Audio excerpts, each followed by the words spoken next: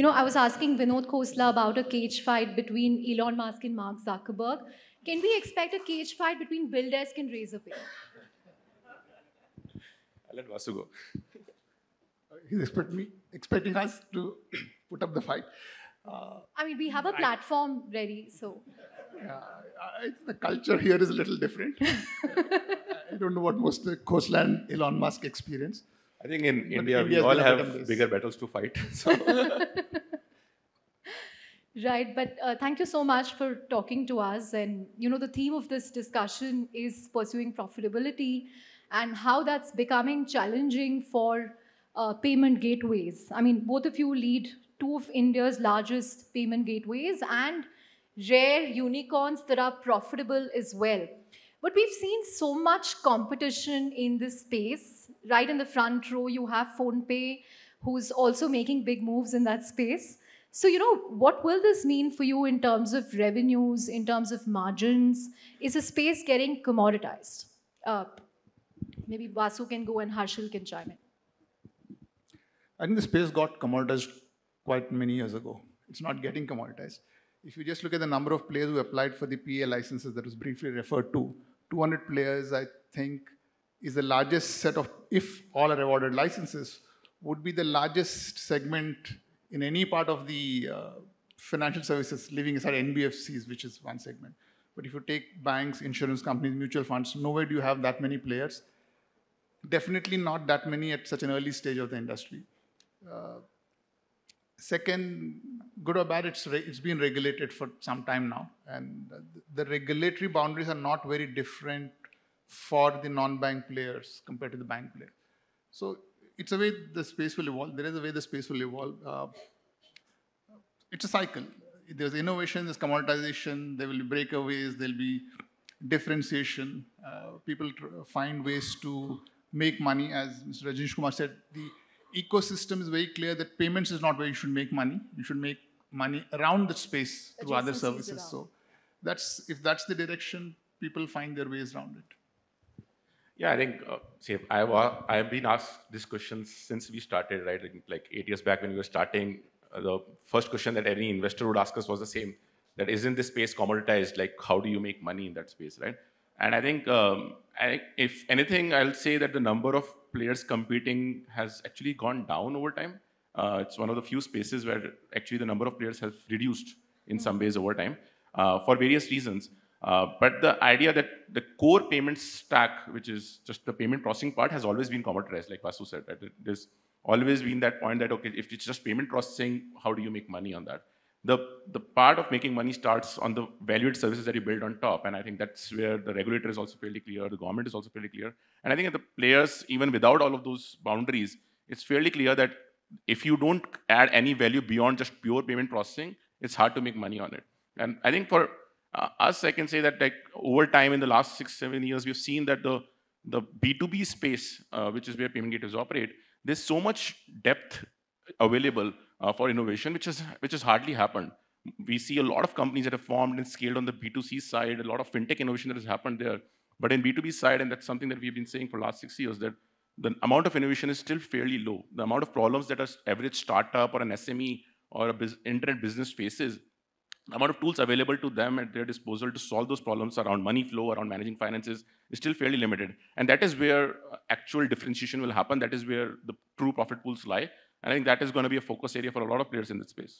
Right. In fact, Vasu, you know, when, when we spoke to you a couple of years ago, you said you likened uh, the payment space to telecom. And you said, you know, it's going to be a graveyard very soon at the rate at which people are undercutting each other. Do you still hold that view? Pretty much. If you uh, ask me, see, as Harshil mentioned, there have been many players, but if you were to kind of uh, look at the quality of play or the number of players who are uh, seriously invested, uh, let me take a similar leap of faith like I did three years ago to say, three years from now, there'll be less than 10 serious players in the pure pay payments place. Do you want to tell us who those 10 serious players were? you can also rank them. Yeah, you know, there, there are a lot of VCs sitting in here. Let me not bias their view of how they want to fund. So. But I think it's, it's a tough space. It's, uh, when I made that statement three years ago, it was just a recognition of the fact that uh, of the times then where typically capital pools understood this as a, uh, let's say, a hyperinflationary play, whereas there's clear recognition this is a regulated play and you need serious players. So that was the context in which I said that uh, startups starting with the view that this is a B2C game, quick valuation gains, quick money, that was not going to the space. Uh, so I hold the same view. Uh, scale will matter, governance will matter, and uh, people who play by the rules will survive. Right. Kumara? In fact, you know, I want to know, do they have questions for you on how AWS helping them with their billing or Sure. you want to ask? Yeah, no, we can go both ways. They, Uh, they can do with some discount or price cuts. no, no, we are always happy to talk on that Yeah. front, and uh, no, I'm happy to take any questions on that as well. But uh, just in keeping with the theme and also what uh, Mr. Vinod Khosla said about capital efficiency and this theme being about profitability, I was curious to know from your perspectives, which are the top uh, cost factors for you all, and how do you all keep a control on that? Considering profitability is obviously Would cloud something be that one you all of do. them? Yeah, I was about to say the biggest cost factor is actually the cloud. So we'll be happy. As you said, we always would love to keep talking more about that. Uh, and I'm not kidding, right? Like the a- as a payment player for us, the tech costs uh, is the signi- most significant cost. And there's the advantage of the B2B side. That's uh, one of the reasons like most players in the payment gateway space end up being, even if it's not massive possi- profitability, there's always revenue pools because the because the amount of spend on things like marketing, on things like advertising and stuff is fairly low. So for us, the biggest cost factor actually ends up being tech, uh, followed and tech in various forms. Tech, people cost of tech, followed by the infrastructure cost of tech, followed by the innovation cost of tech in the sense of R&D that you have to spend on it. Uh, I think that is that continues to be the biggest line item uh, for most payment players. Okay, uh, BillDesk were started in different times. So let me give an example.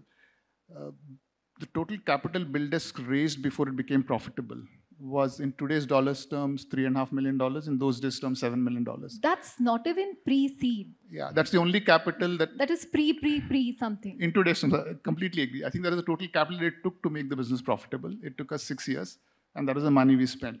Those were different times, and there were different cost structures. Uh, that said, I, I think we recognize that the markets have changed to everything, and uh, pointed rightly that tech remains one of the largest costs that is uh, on the fixed cost side. But purely as payments play, I think it's important for people to recognize that 90% of the revenue is the interchange that is paid to what is called the banking world or the issuing world. Uh, you can at best optimize on the 10 that you have. Right? The- obviously, then you can do other value-added services, tech services beyond it, but that's got nothing to do with payments. Meaning, in the sense, you can ride it off payments, just like you know somebody might use search to sell advertising. You can use payments to do something else. But core payments, 90% of the cost is the cost that you pay to the interchange world. Uh, Kumara, would you like to weigh in since he mentioned cloud as the top? Yeah, line no, item? No. Firstly, I think um, all of you are uh, tech-first companies, so it is natural that I think cloud is the place that you all are born in, and uh, that's where I think a lot of your costs go in. From our perspective, we see as uh, cloud as one of the ways in which you would save costs, because the first principle for us is that uh, you pay what what you use, and it also allows you to elastically scale for events or bring it down. They bring down the usage and only pay for that piece of it. The second part of it is about the innovations that we are able to do on your behalf and make sure that that cost of that innovation is then brought down consistently. So if I have to pick one example on that front, uh, we now have our AWS Graviton chips on the Amazon EC2, which is about 40% cheaper than any other comparable x86 instance that you can use. Uh, so that, that would be one. But uh, beyond that, our general philosophy is to constantly reduce price. If I just take back uh, history of where we began in 2006 as AWS to where we are now, in uh, September last year till then, we had reduced our prices about 129 times. So it's a journey. We don't intend to stop. Uh, the one thing that we want to bring to your world is predictability in how we price our offerings. And then, of course, there are multiple levers with which you'll be able to save both across technical and commercial pieces of it. I think you should look at pricing it as a percentage of the revenues the sector runs. It- It'll be fair to all sides. Yeah, no. I think by In the fact- time the session ends, we'll sign a revised, you know, deal. Absolutely. And you're the right person here on the stage You can make it. Just not for payment sector, for everybody, I think, in the room. No, no, absolutely. Uh, so I think one of the things that we do at the highest level of support, the enterprise support that we offer to our customers, uh, like y'all. So we have a technical account manager. One of the key metrics they have is not just the broader cost reduction, but also to take a goal from what means most to you, whether it's a cost per transaction and how the cloud piece comes in and how we can constantly reduce that. We look at targets and then we look for ways and pathways to get to that piece as well. Right. Um, you you had a follow-up question? what time he's signing. you. No, no, I said happy to always link it to either revenues or profits. Any cost that we pay the cloud side. Um, you know, you spoke about how payment gateways have diversified into multiple products and services, from EMIs to payroll management to escrow services, etc. But does the additional investment, you know, does it really pay? Because several companies doing these SaaS services on a standalone basis don't seem to make money. Yeah, and that's the essential advantage of being in the payment business, right? So, uh, so you're right. Like India doesn't have as, and when I spoke about B2B, there's a reason India doesn't have that deep of a B2B SaaS ecosystem because it's hard to make money on a standalone basis. The the CAC and LTV ratios never work out, and that's the advantage that as a payment provider we have that that today we have the largest number of internet businesses on our platform, and our ability to build new products and sell to the same businesses is is far higher than a standalone company because we already have pre-existing relationship with them. I'll give an example of payroll. We acquired this, uh, this small company about uh, four years back, um, uh, and it was less than a million dollars of acquisition. And the only thing we acquired was a product capability, and it plugged into our ecosystem. And today we uh, we are largest provider of payroll in uh, in the internet tech ecosystem, and it has been scaling like by a factor of three to four x year over year. And simply because we already have the relationship with these customers. So our ability to go back to them and say, hey, we can solve this problem for you as well. This is another money problem that you face, and we can solve this for you as well, is far easier than doing it on a standalone basis. So I think those, uh, I think a lot of those will evolve over time in the next couple of years. But the but the idea that you can upsell more product and SaaS services on top of payments, especially to the core customer base that you have, I think that's going to gain a lot of traction in the next couple of years. Right. Just a quick note to say the Deputy Governor of the Reserve Bank of India, Mr. Ravi Shankar, is in the house. Welcome, sir, to the Moneycontrol Startup Conclave. now you have to be even more careful. but Vasu, you know, um, while Razorpay has found adjacencies in neo-banking, uh, I think SME lending and so on, you've sort of decided to stay true to, you know, core payment products. How has that worked for you, and do you think that will change? Yeah, as you said, we've stuck to core payments, and I think it's a philosophy of each business. You start with one, you want to kind of add on to adjacencies uh, or not to focus on the core. Uh, it's a function of many things. One, a DNA of the company, focus of the business, imperatives of capital, multiple things drive. Uh, we in the B2B space, and I think taking up from points which I think Vedi made in his first session, right? at the base, there is, I mean, all payments is about moving money. There's a source and finally there's a destination. Uh, as things stand, the bank is a source where deposits going. Whatever you do, you're building a stack on top of it, and the end end point is either a retail customer or an enterprise customer, right? Uh, that's the value chain of money to be made. The and there's no there's uh, no shying away from the fact that that's the total margin pool, which the, so to speak, the manufacturer the source will always control. You can do value add on top of it. For us to focus on payments is purely stay within the stack. As the stack potentiality of profit pools reduce, you can look, one can look at adjacencies, leveraging the access one has with the customers. But if you're in payments, there is uh, there's enough to do within the B2B space itself.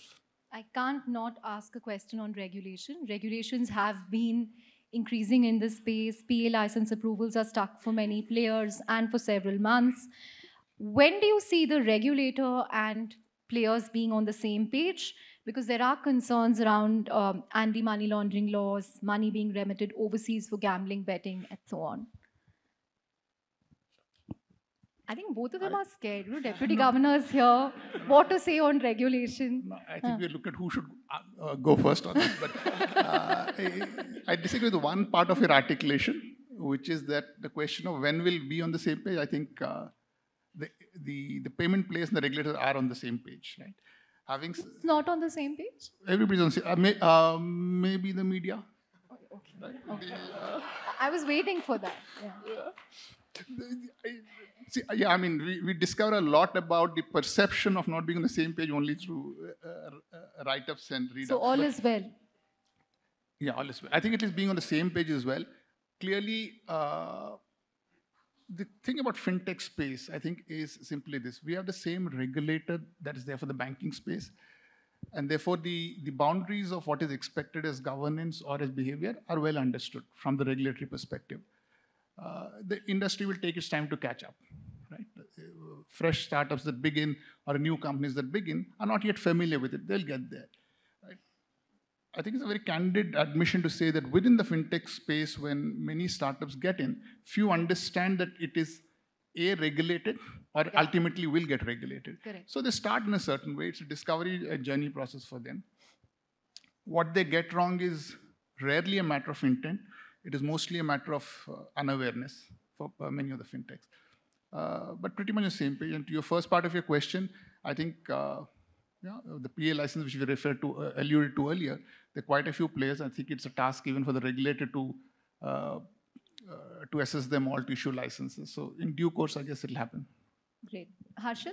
Yeah, um, agreeing with Vasu here, and I think um, I think the advantage of India is that we have seen a lot of innovation, and when you have that much innovation happening in the ecosystem, you need regulation to go hand in hand because otherwise you can end up in a situation like we have seen in markets like West, where we're caught up in a situation where things are gone, out of control, and then the regulator has to bring it back, and things like, especially in in tech innovation, things can expand very rapidly uh, and exponentially, and it's a it's a hard task, like Vasu said, to for sometimes even regulators to see what is the right time to intervene, because at one side you want to allow innovation, but at this side you want to you want to get the right rules and boundaries in place before things scale beyond a point. And I think, uh, at least in India, I feel that we are, the regulator has played that role really well, where they allow a lot of innovation. We have seen a lot of programs from, from RBI, from IRDA, from SEBI on sandbox and allowing, allowing uh, controlled experiments where you can uh, try out things with, within a, a, controlled aspect of regulation, prove it that it works well, whether it has the right set of boundaries, and go on and scale it in, in the larger market. I think those kind of steps tell you that there's definitely an intent on both sides to work together hmm. and find areas of innovation, but at the same time, keep the boundaries in check so that things don't go beyond a point where, where it's hard to bring them back to in control. Got it. Um, I just want to actually add to uh, Harshan, what, what you asked earlier. I think one of the needs, which I think the uh, in an overview when it is done that is often missed out, is simply to say that what when you're innovating in a regulated space, ultimately the, there's an impact on the end customer. Hmm. Should something go wrong there, nobody in the ecosystem, whether it starts from the government or from the media or the players itself, turn around, will turn around and ask what was the regulator doing. So there is a clear onus on them in, in any financial services space, right, of, of a way to look at it. Uh, within the payment space, I think it has been light touch regulation uh, since 2008 9 hmm. till about 2017 18. Uh, and as this uh, scope of play increases, obviously the framework increases, expands to cover more. Got it. Kumar, I think you had something. Yeah, no, just on the point of innovation, I mean, that's the other part that you touched on. So obviously, generative AI is something that uh, a lot of the fields across sectors are experimenting with. Again, I was curious to know if there are areas that uh, you see fintechs, particularly in payments, experimenting with in generative AI. I think AI is a is such a bottom of the layer innovation that I think it will touch every aspect of the of the at, at least the internet ecosystem that we interact with today. And I think uh, everyone is still discovering what are the areas that will touch, but it is one thing is certain that it will impact almost every segment uh, of, of, the internet ecosystem, uh, fintech included.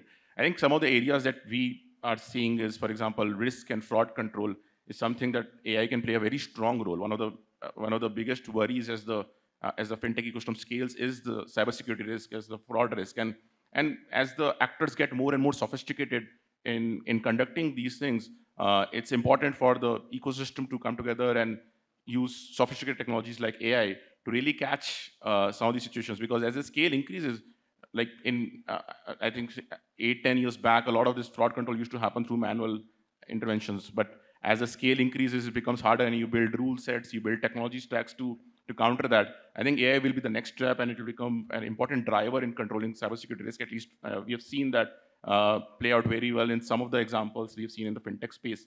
And we'll see a lot more of those. Other example would be uh, customer servicing.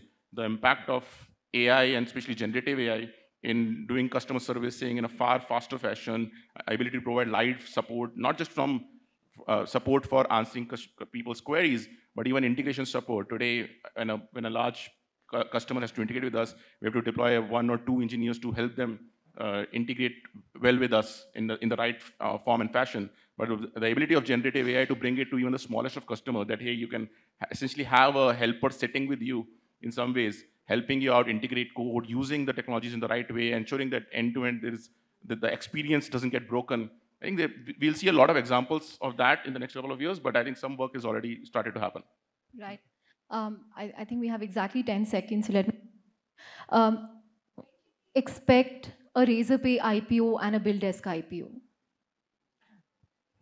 I, I doubt they'll be both at the same time. Uh, uh, but it's function of markets. There is, uh, at least speaking of BillDesk, there would never be pressure to do an IPO. There's never been one. It'll be more a question of uh, liquidity for investors and a market timing. So how are you going to give that? Because you know the then you have exit. That'll happen. How? You just list. Um, you said whenever we do the IPO, there will be list, uh, listing. I'm saying there is no pressure from a to a question the- of a from a timing timeline Yeah, perspective. so that'll Huh. happen when it has to happen. Harshil, you've already started the process, no? You flip flipping to India and No, everything. no, we're still underway on that. I think, the, as Vasu said, media likes to think that everything has just happened. Uh, but, but I think. Uh, Don't put uh, everything on media. You are flipping, no? uh, uh, let me put it this way: that um, we are working towards flipping. That's what I said. It came. Which is you're flipping. The amount of work that we have done on flipping is lesser than the amount of work written uh, done in the article about flipping. So, We just need So- one line that you're working towards. yeah, we can just write one line. The amount, words. but it helped because the amount of research they had done in it, we said, okay, let's look at this as well. so, uh, so, but, uh, but yeah, I think uh, as Vasu said, like, see, IPO is definitely the uh, the place where we want to be, and we have said that it's at so least two to three years 2025. two to three years away. Yeah, maybe a little bit more than that. Uh, and it also depends a lot on the markets. But but like also said that the advantage of in being in the B2B and the payment space is that the the amount of liquidity that we need is never that high. So so we're never in a hurry to do an IPO because it's not like we are looking to raise 500 million dollars or a billion dollars tomorrow, and that will help us scale much more rapidly. A lot of companies in the consumer side need to do that because they need that much liquidity. But the advantage of this space is that the, the, the cash requirement is comparatively much lower. And that's why the pressure to do an IPO soon or quickly is far lower. So we'll do it when the market is right, when the timing is right, and when, uh, when we feel that it's the right time for us to present our story uh, to the public market investors. Uh, I think we are still two to three years away from uh, covering the, all aspects of that story, right? Like we, we have started Right. work on the neobanking side, on the on the lending enablement side. I think there's still a lot of work we would like to do in those spaces before we go out and tell that connected story uh, to the larger public market ecosystem. No, I just wanted to add on the BillDesk IPO, uh, just to make it easy for every you or for everybody in the room. Only when there's a quote from the BillDesk founders should you believe there's a IPO from BillDesk. You. This is, I think, the first time I've seen you talking anywhere in a forum. So then, Which is why I said it's only when there's a quote you can believe anything of us. okay, I'll wait for your quote. speculation, Yeah, absolutely. Yeah. On that note, thank you very much for talking to us, and thank you, Kumara. Uh, I'm sure you all have a separate discussion on cloud and everything on the sidelines. But thank, thank you so much, Harshil and Vasu. Thank you. Thank you. Thank you.